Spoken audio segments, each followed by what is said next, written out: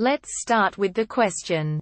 How will a wait command in a script be affected if wait is disabled on the server I have a few scripts which use the wait command.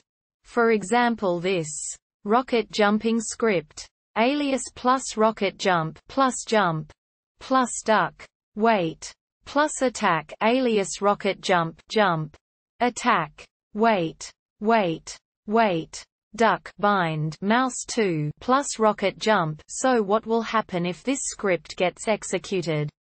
On a wait disabled server will the wait command be skipped during the execution? Or will it not be able to execute the script?